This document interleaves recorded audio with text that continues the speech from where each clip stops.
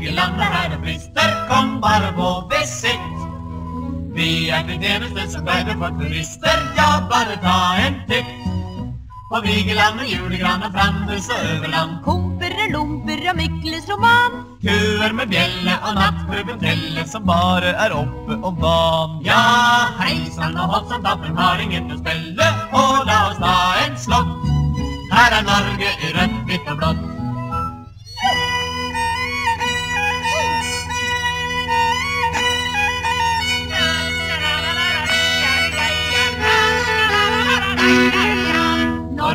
Kommer, ta en tur i Pipervika, da ser du byen ved natt. Gå ned på Rosekjelleren, dangle tær og stripa, så må du bli betatt. Jenter som vrikker, Og typer som kikker, og blonde Marie med en flaske port. en hovedleppe, en blåveis og teppe, går ned, ja, den kvelden gikk fort. Ja, og du kan våkne i Studentelund og morgenen, farverik og forslått. Det er Norge i rødt, hvitt og blått.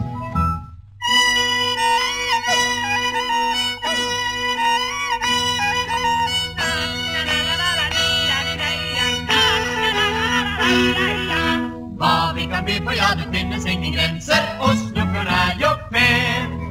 Men skal du bade, ta på folde skjørt og genser hvis du vil være ren.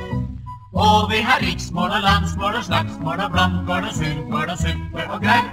Purker og råner og fjorder som låner og grynting og kakling og reit Pultost og fleskesvor, surmelk og gamlebord, og Lindøya, Domsnill blå Blåøya, Hallingkast og geitost og gammelost og fenalår, Skytterkollen, Grefsekollen, Holmenkollen, Rømmekollen, Dagblad, Arbeiderblad og Morgenblad og Korvablad. Østlandet, Vestlandet, Sørlandet, Lavlandet. Ålesund og Mindesund og Langesund og Kjernesund. Gjøvik og Larvik og Narvik og Trangvik. Hallingdal og Setesdal og Numedal og Gyllendal. Nedre Volle, Øvre Volle, Korsvoll og Fostervoll. Tørtebær og ekebær og galgebær og tyttebær. Grorud og Manglerud og Hellerud og og vårsalg og billigsalg og våpensalg. Rettssak og avhørssak, kvinnesak og farskapssak. Jernverk og glassverk og vannverk og tannverk. Jærbu og Krambu og Ringebu og Lysebu og Fornebu og Pølsebu, det byr vi dem på.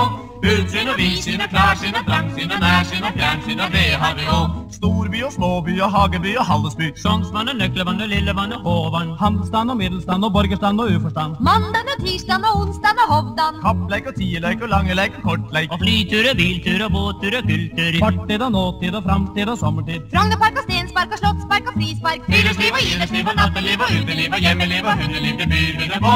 Farris og Jannis og Softis og Monkis og Snittis og Snippo, ja, det har vi òg. Ja! Hei sann og hopp sann, taffel har ingen å spille, og la